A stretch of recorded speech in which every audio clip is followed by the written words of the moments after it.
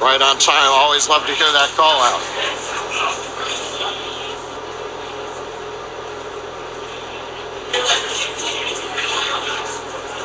T minus 30 T seconds 30 counting. seconds. All systems are go for launch of Falcon 9 with the Intuitive Machines lunar payload.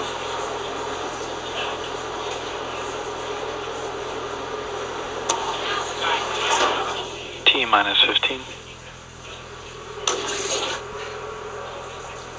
T minus 10, 9, 8, 7, 6, 5, 4, 3, 2, 1.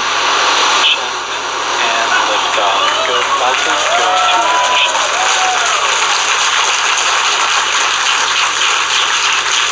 Vehicles pitching downrange. And when you pulse nominal.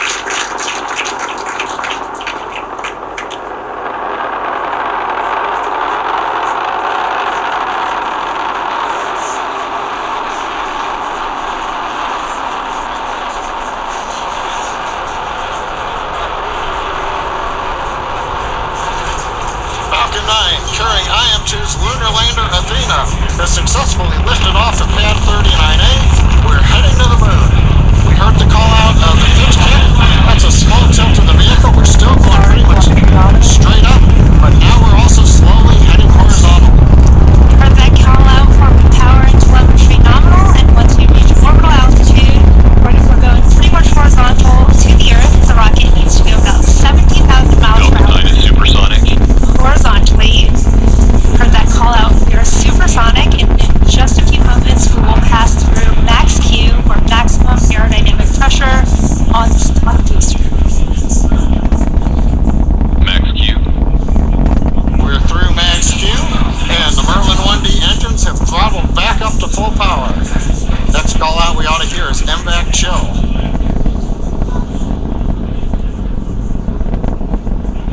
9 data is continuing to look good as the first stage heads out over the Atlantic Ocean.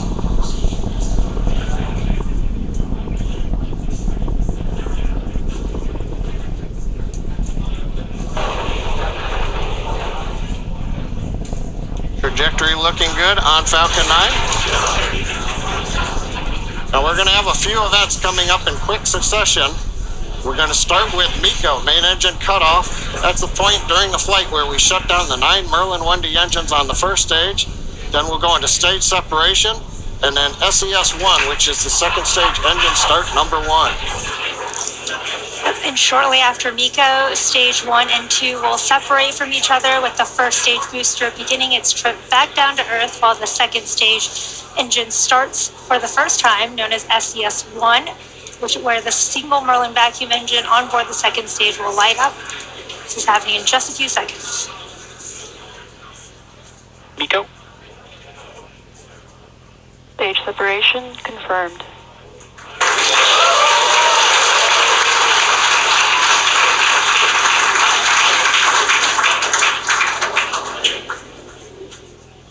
And vac ignition. Call outs of three good events. You heard it and you should have seen it there on the webcast. MECO stage up in SES 1. Now, the first stage is not powered, it's shut down. Great views coming from the second stage cameras as we have just uh, had sunset a little while ago at Kennedy Space Center. The first stage is now coasting to apogee. That's the view on the left side. We're slowly turning using cold gas thrusters. We're turning to orient the engines into the direction of flight. Also, you may have been able to make out in a little bit of the light the titanium grid fin deployment is underway. We're using pneumatic Stage gas pressure. confirmed. And here comes fairing separation. And a beautiful view. Looking at Athena and the rideshare on top of the second stage stack.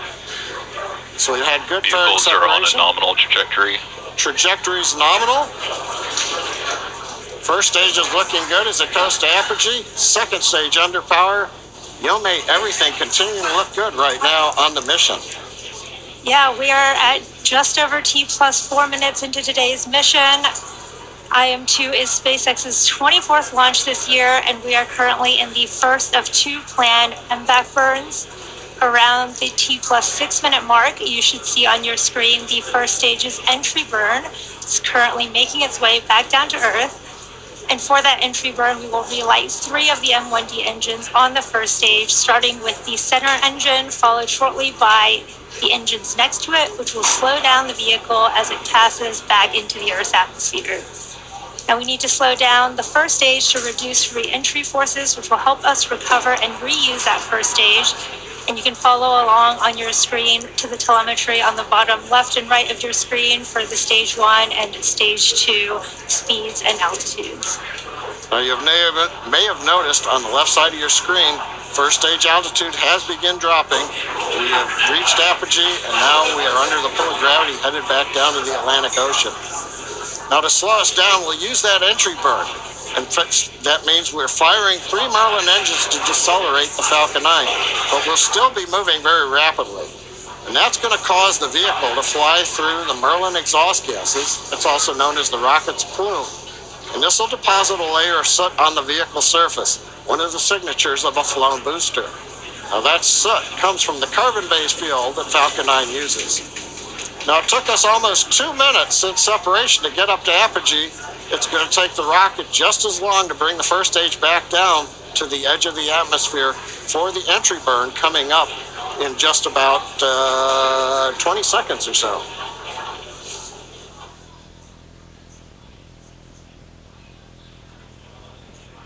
Now, as a reminder, the first stage that's supporting today's mission is performing its entry burn for the ninth time. Falcon 9 is the world's first orbital reusable rocket. This is important because it's that reusability that allows SpaceX to refly the most expensive parts of the rocket, and that in turn drives down the cost of space access. Stage one entry burn startup. Stage 1 FTS is saved. There's that call out for entry burn startup, and this will be about a 30 second burn, slowing that first stage down as it re enters the Earth's atmosphere.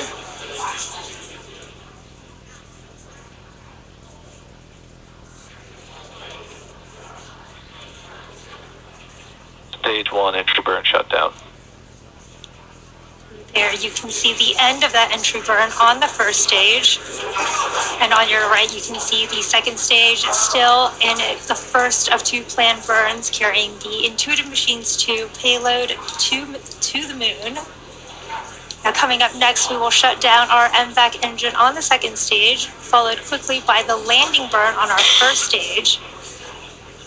And the second engine cutoff of this first burn will be in just about 30 seconds at the T plus 7 minutes and 46 second mark. Stage two's internal guidance. You can see on your bottom right the, the speed of the second stage accelerating as we are in that burn. Stage one transonic. Stage 2 STS is saved.